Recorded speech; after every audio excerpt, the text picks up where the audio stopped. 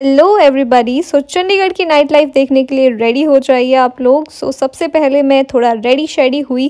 Then we went to a very nice place which is in sector seven ये वहाँ का नीचे वाला एरिया है और यहाँ पे रूफ टॉप भी था जिसके लिए मुझे ये जगह बहुत पसंद आई. I just love roof top and ambience आप देख सकते हो यहाँ का कितना अच्छा है. Like like, totally my kind of vibe और बहुत ही क्यूट क्यूट से प्लेसेस यहाँ पे बने हुए थे जो कि बहुत क्यूट लग रहे थे यू नो फ़ोटोज़ में वीडियोस में और in personal also so yes we order the food और खाना भी यहाँ का बहुत अच्छा लगा मुझे बिकॉज़ यहाँ मैं पहली बार आ रही थी तो आई वॉज़ वेरी इम्प्रेस्ड और उसके बाद मैंने थोड़ा आप लोगों को आउटफिट अपने दिखाने की कोशिश की है। ये क्यूट से कॉर्नर पे और यहाँ पे हर कॉर्नर इतना सही है ना? मैं आपको क्या बताऊँ? ये नीचे वाला एरिया है।